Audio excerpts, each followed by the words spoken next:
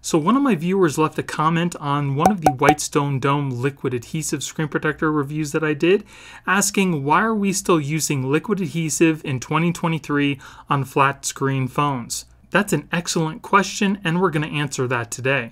So here I have my brand new iPhone 15 Pro Max, and I don't know how, but a day after I got the phone, I didn't put a screen protector on right away, and I got this scratch right on my screen.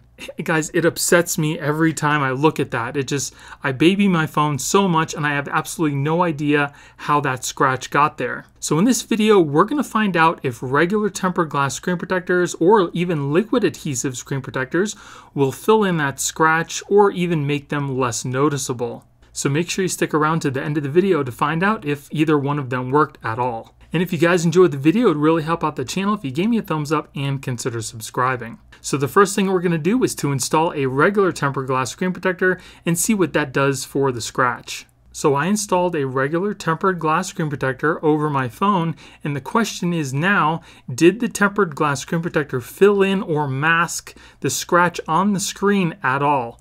Let's find out. And if we look a little closer, you can see that scratch right there and it looks just as visible as if the screen protector was never installed. So regular tempered glass screen protectors do not mask or fill in scratches on the actual phone screen. So now that we know that regular tempered glass does not do anything for scratches that are on the phone screen, I'm going to take the screen protector off and I'm going to install a screen protector that uses liquid adhesive. I want to see if it fills in the scratch or even masks it just a little bit so you don't notice it as much. So for this test, we're going to be using one of my most favorite screen protectors, the Whitestone Dome Dome Glass. This screen protector does use liquid adhesive and it's one of the best I've ever used. Typically, I use screen protectors that use liquid adhesive for screens that are curved because it's really hard to find a regular tempered glass screen protector that doesn't use liquid adhesive that works really well with the in-display fingerprint sensor. Obviously, I'm not talking about iPhones, more on the Galaxy devices. So there are quite a few different screen protectors out there that do use liquid adhesive, but I've always had a really good experience using Whitestone Dome. The installation might look intimidating at first, but they pretty much lay out everything you need to do in their little installation guide, and it really doesn't take that much time.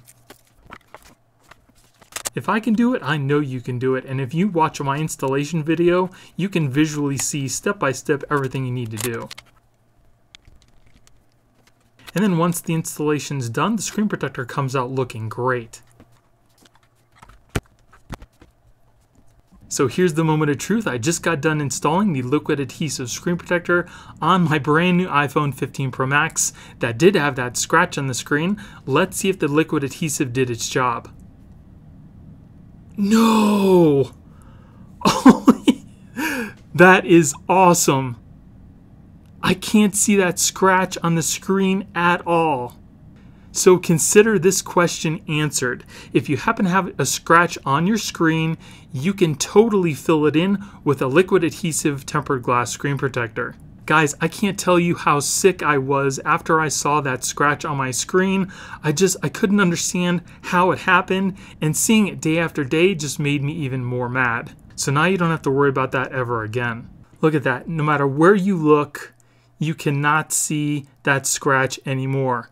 That is so awesome. So if you've got scratches on your brand new iPhone 15 Pro Max like I do and you're sick of seeing it day after day, you can use a liquid adhesive to totally fill it in so you don't have to see it. Your phone looks perfect again. I can't believe it. That is awesome. So so if you guys want to pick up this exact screen protector, I will be leaving links in the video description. And if you enjoyed the video, it would really help out my channel if you gave me a thumbs up and consider subscribing. So let me know what your experience is. Do you guys have a scratch on your brand new phone? And are you planning on getting the screen protector to get rid of it? Let me know in the comments below. And if you want to see more tempered glass screen protector installations, I would definitely recommend checking my best and worst screen protector video for the iPhone 15 Pro Max, and you can check that out by clicking on the video you see on your screen right now. Thank you all for watching, I hope you have a great day, and I'll see you in the next one.